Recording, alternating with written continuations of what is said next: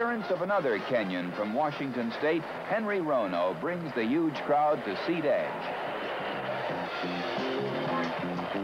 Now here's James Munyala, the defending champion. His face shows the strain of a tough challenge. The race is the 3,000-meter steeplechase, and of course, Rono is the odds-on favorite, having set the world record just three weeks earlier. Rono has raised the crowd's anticipation to the stratosphere. In the qualifying heats, he shattered the meet record set by Munyala in 1976. Also, Rono has broken Steve Prefontaine's meet record in the 5,000. However, both marks were considerably short of the world records which Rono, not surprisingly, also holds. But by way of excuse, he did this day's running on a sore foot. That sore foot kept Rono from attempting a distance triple. He had planned to run the 10,000 meter the night before and the 5,000 later this afternoon. He reluctantly decided to skip the 10,000 this time out. Such is Rono's strength and endurance that there is no sign that his ailing foot has slowed him down in this race. And Rono doesn't disappoint the enthusiastic crowd. His winning time is short of his world record, but he does shave an additional six seconds off the mark he set in the heats.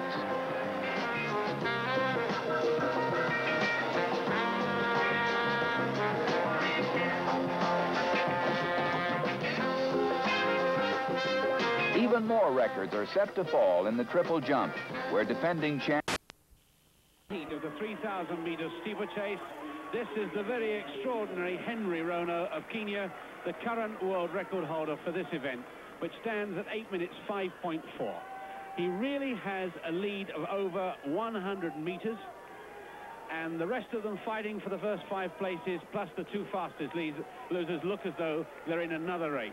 That other race is being led by Ian Gilmour of Scotland from uh, Tony Staynings of England, and then Euan Robertson of New Zealand. But this man is laying on a demonstration of most extraordinary running. He's already seen his fellow countryman, Kipngetich Rono, same name, no relation, win the first heat in 8.31, so there's bound to be two Ronos in the final. A lap and a half to go. This is a, a, course with the water jump on the outside, so it's difficult to estimate his potential time, but he looks as though he's running around about 8.22, something like that. Leaping easily the 12-foot water jump. A race of seven and a half laps, 28 hurdles, seven water jumps. One more barrier. Tony Staynings moved into uh, second place. But 277, Henry Rono of Kenya, the current world record holder for the 3,000 meters steeplechase, the 3,000 meters flat, the 5,000 meters and the 10,000 meters, all set within the space of two months this year. Set his steeplechase record on May the 13th, that world record. The 26-year-old Kenyan at Washington State University in America. And this has uh, vastly entertained the crowd that have stayed.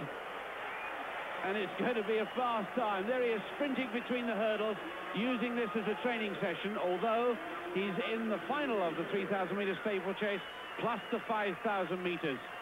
So 200 meters to go. Just over that, his final water jump. The water jump, which proved uh, a bit of a tricky barrier to fellow countryman Kipngetich Rono, had a bit of a stumble at it, but here he is launching himself down the straight. 8.10, 8.11, it'll be about 8.25, easily clearing that final hurdle. Tony Staynings way, way back, but ahead of the rest of the batch in second place.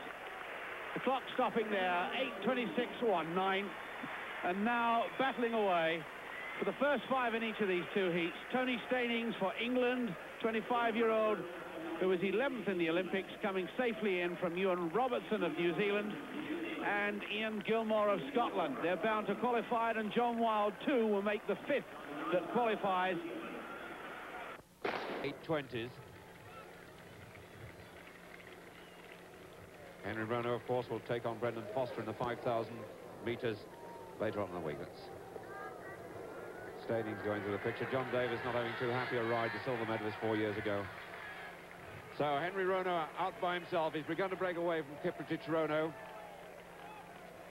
Munyala is third, Robertson four. Healy five, and Dennis Coates having a really terrible time back in sixth place. He's really losing ground.